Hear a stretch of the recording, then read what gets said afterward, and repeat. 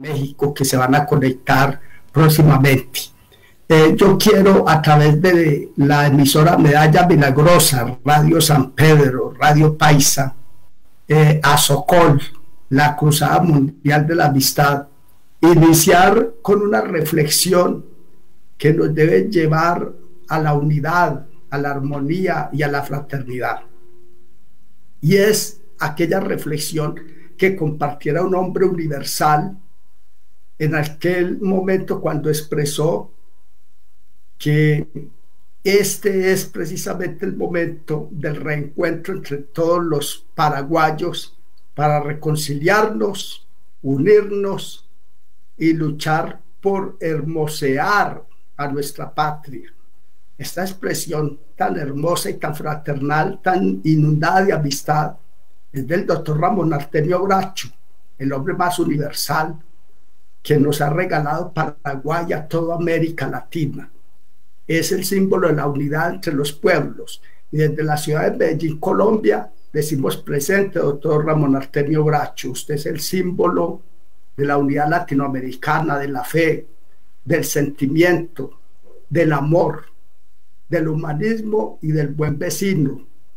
Razón tenía doctor, Artemio, eh, doctor Ramón Artemio Bracho, razón le asistía a Augusto Roa Bastos, ese otro grande del Paraguay cuando decía que nada enaltece tanto la autoridad como el silencio. Y usted es autoridad en América y el mundo.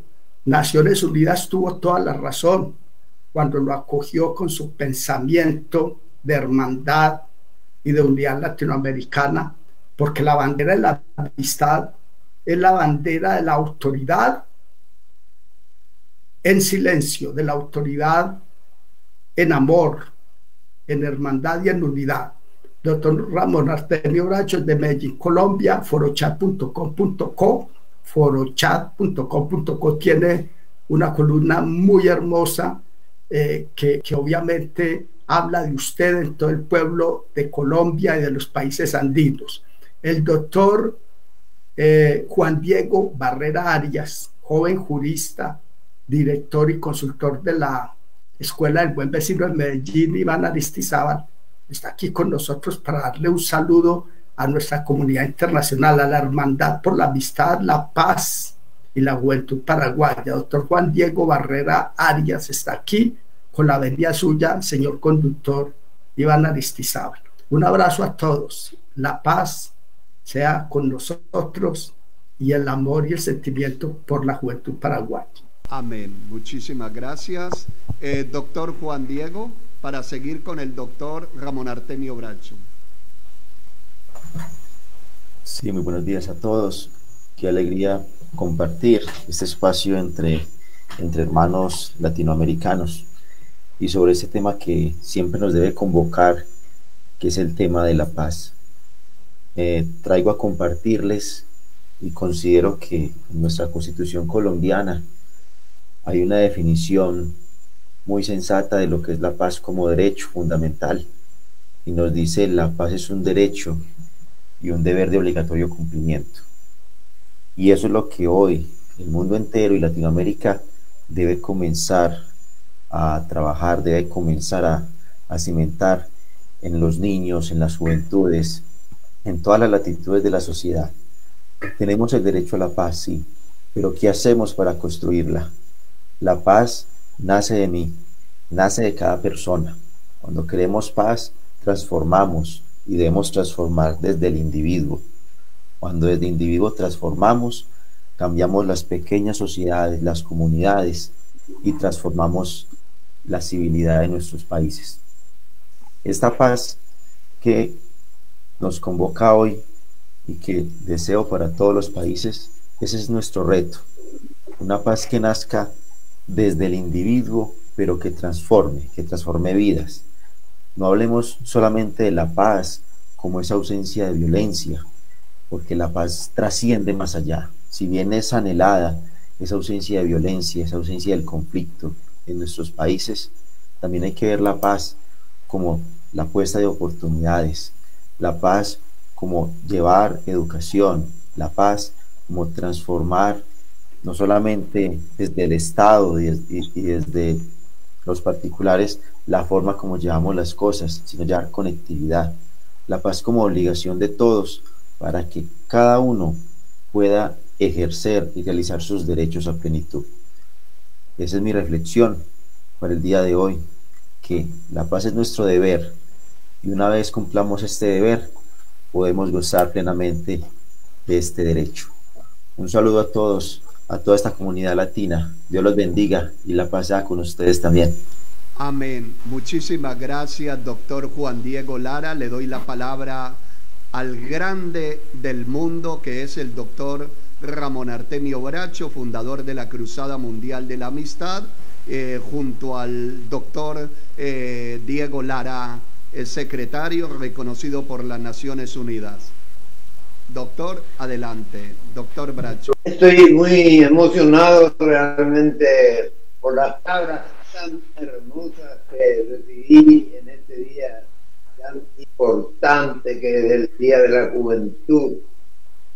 Y les envío un cariñoso y fuerte abrazo. Estamos vivos esperando que ustedes sigan trabajando por la paz del mundo hasta conseguirlo.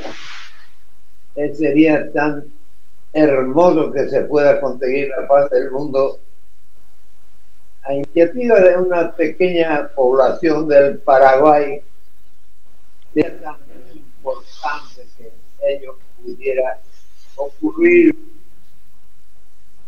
Y a propósito quiero relatar poco lo que me aconteció el día en la última semana de la amistad, última semana de la amistad, justamente yo me entraba en esta sala en que estoy ahora y sale una llamada telefónica. ¿Y de dónde me está llamando? Y me dice, desde Turquía. Y yo me quedé asombrado. Y entonces me dice, no asombre tanto, doctor, usted es un hombre cuyo nombre es recorrer todos los países del mundo. Dice así este señor de Turquía. Y me dice, para mañana estamos preparando una linda celebración la semana de la amistad. Y vamos a las 11 de la mañana, vamos a empezar eso mañana. Y se hizo eso, fue una cosa magnífica que me, me llenó el alma y el corazón de alegría y de emoción. Increíble lo que pasó en Turquía. Y bueno, eh, eso quería comentarles. Y agradecimiento y también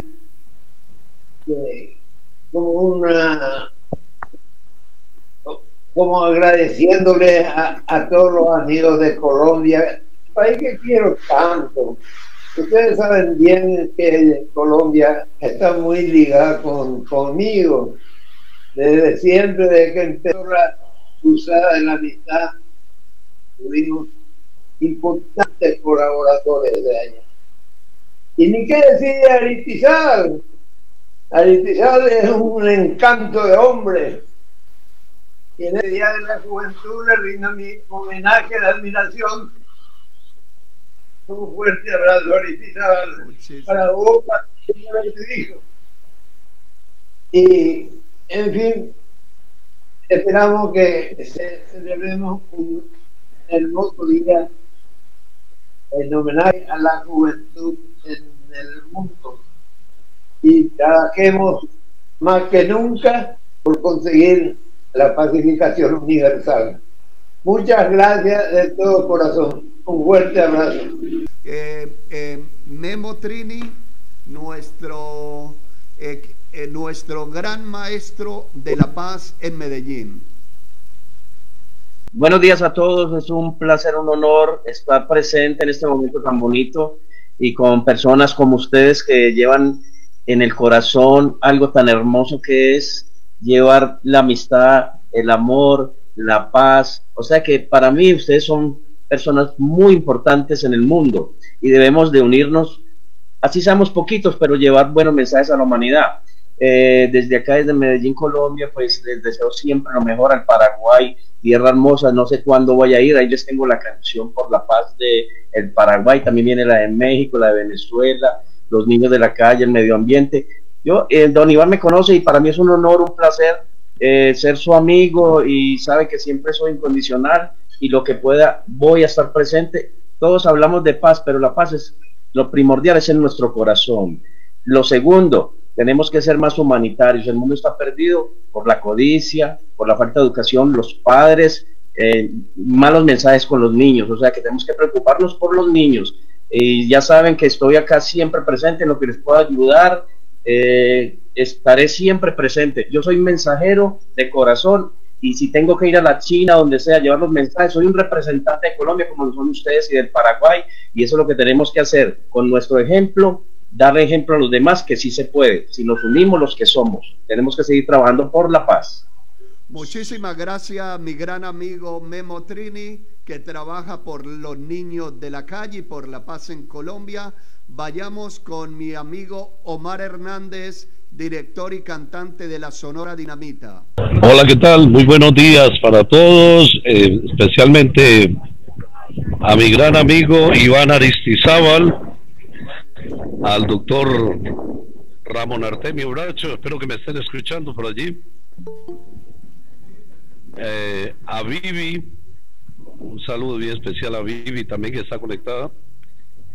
Y hoy les estoy saludando desde la bella isla de Malta para llevarles también un mensaje en pro de la paz, un mensaje en pro de la unidad mi mensaje es musical, siempre procuro llevar la música, eh, los mensajes de unidad, de paz a todo el mundo, nuestra cultura colombiana, nuestra cultura latinoamericana. Y aprovecho para agradecer a todos los compañeros de la música que me han acompañado en este recorrido a nivel internacional. Ahora mismo teníamos planeado ir para este fin de año a Paraguay.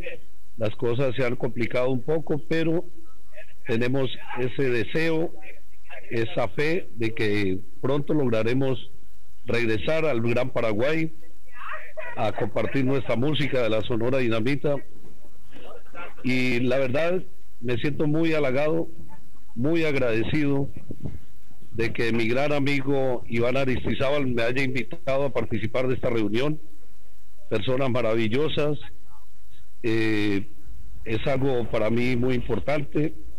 Le agradezco al doctor Bracho por el, la mención que ha hecho del saludo que estuvimos compartiendo desde Turquía, cuando estaba en Turquía. Hoy, doctor, estamos en la isla de Malta y tenemos mucha fe de seguir llevando este mensaje de paz a nivel internacional y de llevar por siempre muy en alto los nombres de nuestros pueblos, de Colombia, de Paraguay y de Latinoamérica. Muchísimas gracias, mi gran amigo Omar Hernández. Y acaba de llegar la, hija del doctor Ramón Artemio Bracho, que quiero presentarles acá, una gran persona, un gran ser humano con mayúscula, la licenciada Patricia Raquel Bracho. Presente en, este, en esta linda actividad organizada por el profesor Aristizábal. Estoy muy orgullosa de estar aquí compartiendo, ¿verdad? En este día de la primavera y de la juventud, en representación de mi querido padre, que es un luchador insigne, que no se cansa realmente, él lleva la juventud muy dentro y eh, yo quería desearles hoy un bellísimo día y que ojalá vayamos mejorando todos, todos juntos, ¿verdad? Mejorando el mundo, eh, mejorando el ambiente, mejorando eh, todo lo, lo malo, ¿verdad? Ir puliendo con mucho esfuerzo y dando eh, mensajes realmente de paz que hacen mucha falta. Estamos en un momento muy difícil, de mucho estrés laboral, de mucho estrés emocional, de muchas cosas de repente que nos dificulta llevarnos bien eh, entre los seres humanos, mucha discordia. Entonces tratemos cada uno desde nuestro lugar dar lo mejor siempre, con pequeñas actividades, con gestos eh, de humanidad y muchas cosas podemos hacer para mejorar más en este, en este eh, tiempo de pandemia que está costando mucho. Pero desde aquí yo les deseo un hermoso día, que Dios nos siga ayudando siempre y en nombre de mi padre, también de mi madre, ¿verdad? Que ya están, vamos a decir, aislados, ya están siendo cuidados. Entonces, él ya está con, por cumplir 97 años el 8 de octubre. Mi madre está con 94, pero seguimos, seguimos en la lucha y seguimos dando siempre lo mejor eh, en, este, en este momento. Muchas gracias. Muchísimas gracias, licenciada Patricia Bracho. Me siento muy honrado con todos ustedes y en especial aquí también con la licenciada Patricia Bracho.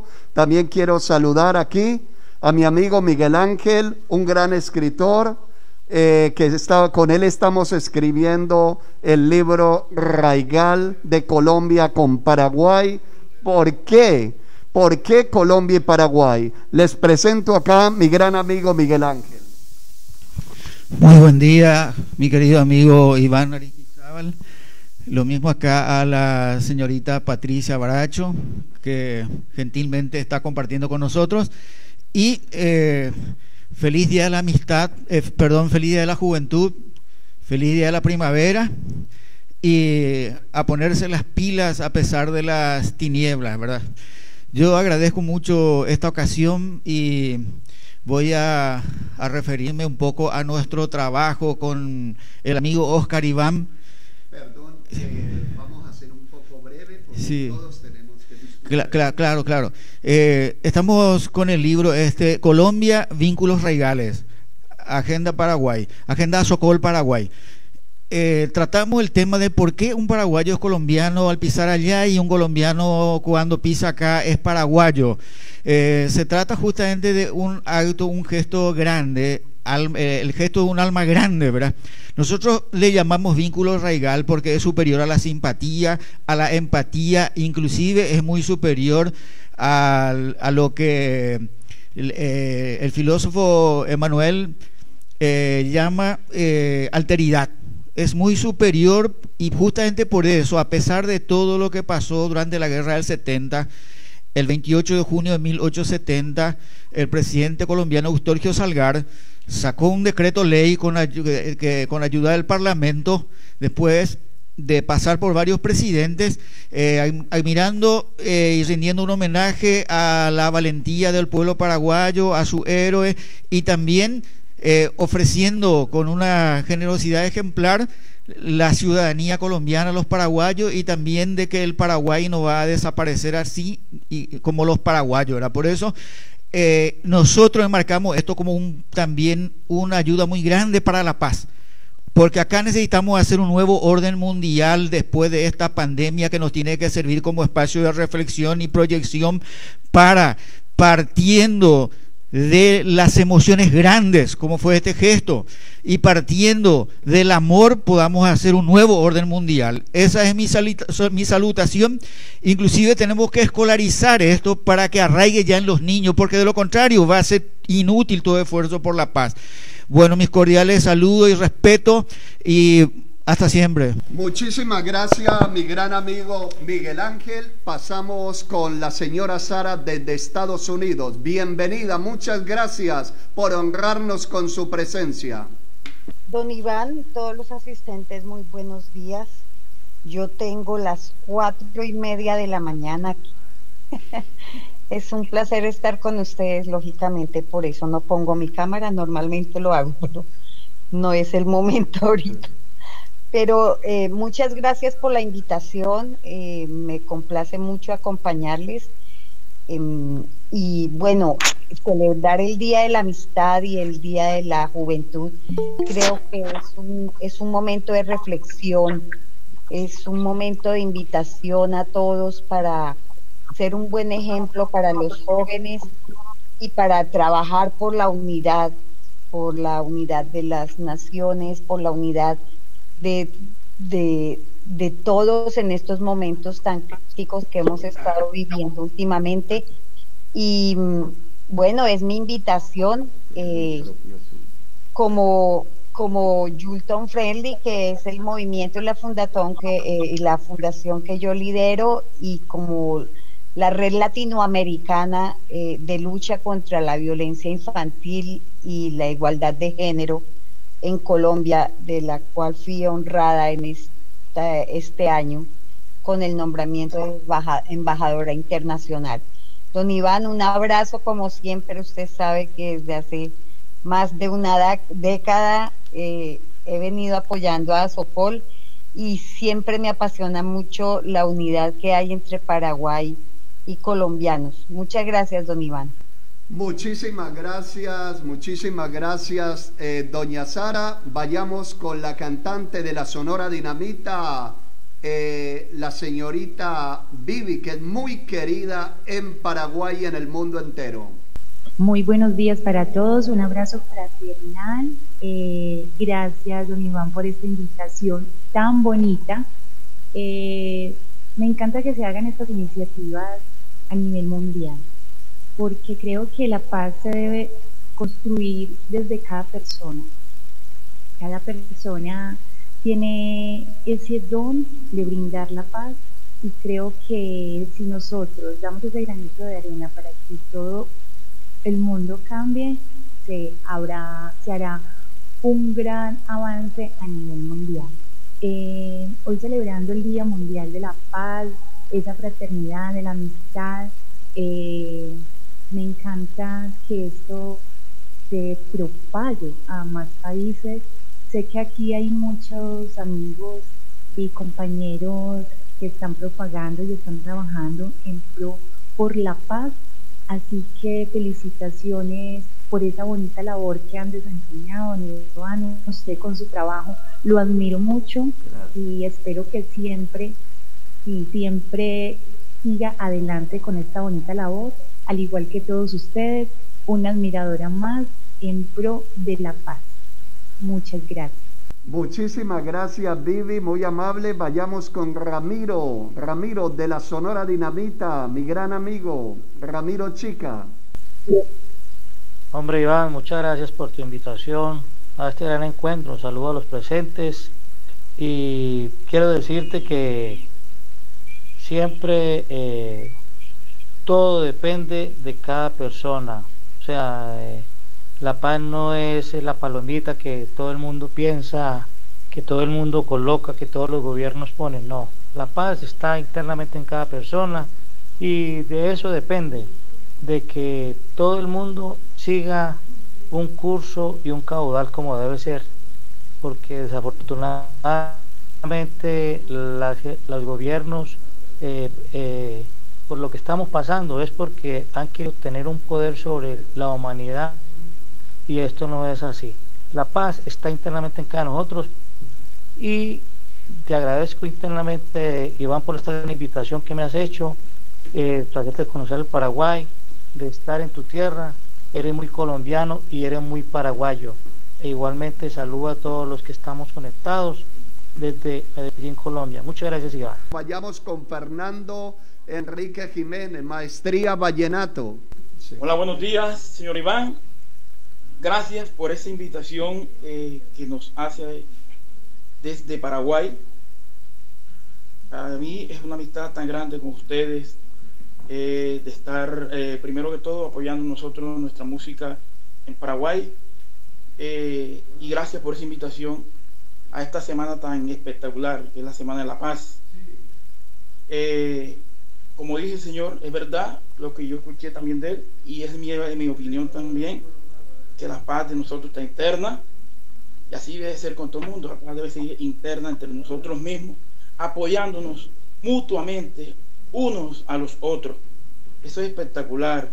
y así eh, a todos los integrantes de este grupo espectacular de corazón.